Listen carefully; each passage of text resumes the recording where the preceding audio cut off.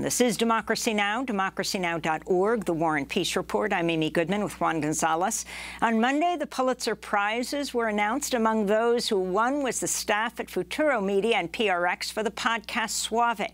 This was how the podcast co-host, the award-winning journalist Maria Hinojosa, responded yesterday on Twitter. Guys, we won a Pulitzer! We won a Pulitzer Prize! We won a Pulitzer for Suave! What? I didn't even, I mean, it's like I never even thought of winning a Pulitzer. Maria Hinojosa founded Futuro Media in 2010 and says it's now leaving its mark in American history. Today, we go back a year ago to our interview last March when the now Pulitzer Prize-winning Suave podcast series was first released. Democracy Now!'s Juan Gonzalez and I spoke with Maria Hinojosa and her source, Suave. We end today's show with two people who met almost 30 years ago. It was 1993 when the acclaimed journalist Mariana Hinojosa met David Luis Suave Gonzalez while she was giving a talk at the Graterford State Correctional Institution in Pennsylvania. Suave was there serving a life sentence without parole after he was convicted of first-degree homicide when he was 17 years old. At the prison, he was part of the largest population of so-called juvenile lifers in the United States.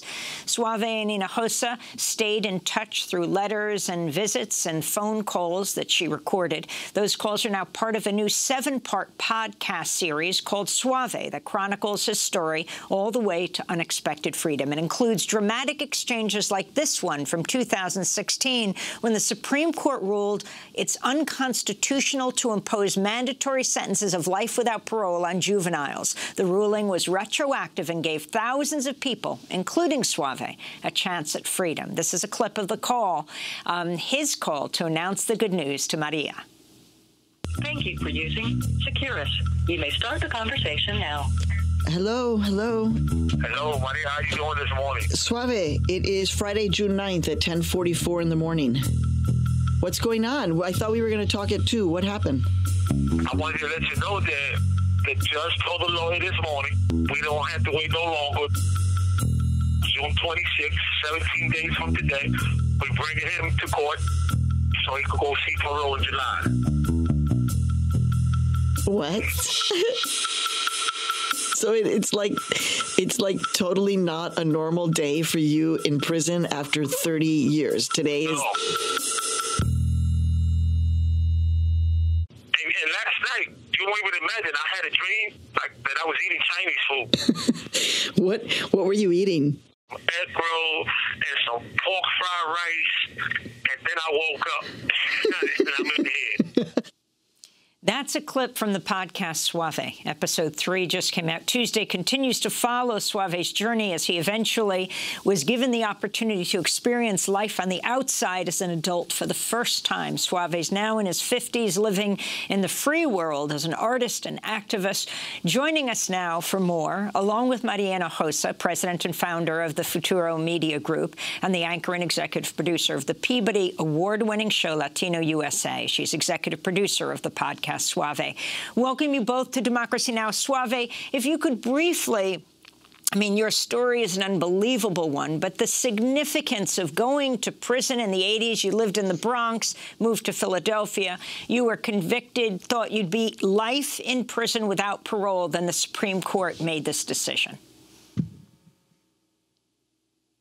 Yes. Um, thank you for having me on. And um, it was an, uh, an experience that I would never forget and don't wish on no juvenile in the United States. It was an experience that left me traumatized to this day. And I'm just grateful that I was able to meet Maria in 1993 and was able to make that transformation from prison into a decent human being because at the time in 1993, I was on a suicide mission. I wanted to die. I didn't know how I was going to get out of jail. All I knew is that I was sentenced to life in the state of Pennsylvania, which housed more juvenile lifers than any other state in the country. And I was and I was stuck. And here comes a stranger telling me that I could be the voice for the voiceless. And Suave, could you talk about that first uh, time you met Maria Hinojosa and the relationship uh, as it developed over the years from your perspective? Yes, I met Maria Hinojosa in 1993. I, I was just coming out of solitary confinement, and an older gentleman gave me a radio that had three stations. And one of the stations Maria was on, so I heard it and I was impressed just to hear a Latina voice on the radio. So I just told everybody, we got to get her up here to the prison to speak to the guys. We got to get her up here. So one of my friends was the institutional tutor, and he graduated that year like 27 guys with GED. So he was given the opportunity to bring a guest speaker, and I begged him, bring Maria up here, bring Maria, and somehow they got Maria up there, and they told me I couldn't get into the graduation because I wasn't graduating. So I was fine with that because I was doing time in a corrupt jail. There, there was no way I was not going to get into that graduation and meet Maria. So I got in and Maria spoke. And when she took the podium, I just felt that every word that she was, every word that was coming out of her mouth, I felt like she was talking directly to me. And even though it was an auditorium full of people graduating, I just felt like her message was for me. So when she was done speaking, I, I went up to her and I and I told her I'm serving life. What can I do? And Maria just looked at me and said, "You could be my source. You could be the voice for the voiceless." And those simple words changed my life. The voice for the voiceless. And at the moment, I didn't understand what it meant, but then it dawned on me like all my life I've been told I was mentally retarded. I had an IQ of 56, that I would never amount to nothing. And here's a stranger telling me, a lifer, that I could be the voice for the voiceless. I was lit. I was like excited just to have somebody tell me that I could be something, that I could be somebody. And that's what changed my life. Maria, if you could talk about your experience of first meeting Suave and the relationship that you and Suave had over not the months, not the years, the decades, and what it meant to you when you got that call that this um, young man who you expected to live for the rest of his life in prison, who was your source, um, was now going to be free. All right. Well, listen, I just got to put some credit where credit is due. I learned from the best. I was watching people like Juan Gonzalez. I was reading Juan. I was watching and listening to you, Amy. You were my boss, remember, way back when, when I was a budding journalist um, at WBAI. And one of the things that I learned from you and the great journalists in our tradition, Frederick Douglass, Ida B. Wells, uh, Ruben Salazar, is that you you also can lead with your heart. You can be the most critical journalist possible, but you can also lead with your heart. So Suave likes to give me a lot of credit for the words that I said. You know, hey, you're going to be inside here. Just tell me what's happening inside a maximum security men's prison. But the point is, is that he was the one who walked up to me. He was the one who asked the question, What can I do? He didn't say to me, Do something for me, get me out of here, here's my case, let's talk about which a lot of the other guys did. Suave said, What can I do? And, you know, I didn't know Suave. I didn't know that he was illiterate. I didn't know that he had been accused of committing a murder uh, against another juvenile. I didn't know that.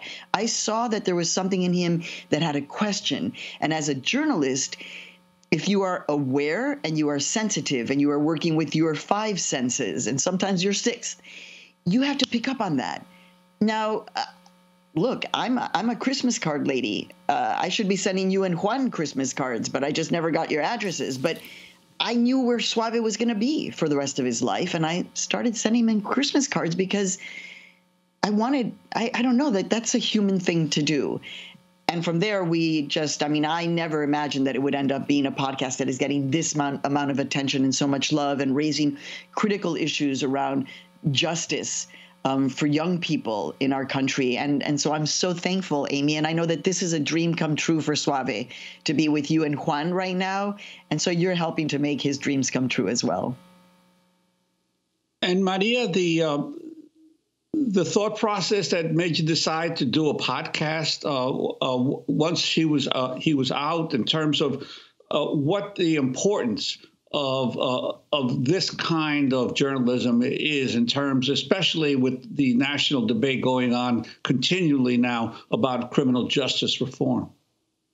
Right. So, look, you know, people talk about numbers and they talk about institutions, but until you actually meet someone who has been in this, I mean, Suave was in solitary confinement not for days or weeks or months, but for years. What does that do to a human being? Look, I I just had a little recorder, Juan, and I when I realized that the Supreme Court was going to be addressing the question of whether or not it was um, inhuman to sentence a juvenile to life without parole, I just started recording every single car, call that Suave made. I went back and I reported. I had visited him a couple of times. Um, but I just said something can happen here. And look, this is a message to fellow journalists out there. You need to hold on to your stories. You need to learn from the Juans and the Amy's, and in this case, the Marias of the world who are journalists of conscience in the United States. And we understand that there is not just a human story, but there is a story that we can, with one human story, really uncover um, all of this injustice. And so I never imagined, Juan, that it would be a podcast like this, but you start recording and and and that's where you capture the most dramatic moments because you know Suave and I were just very real with each other over decades.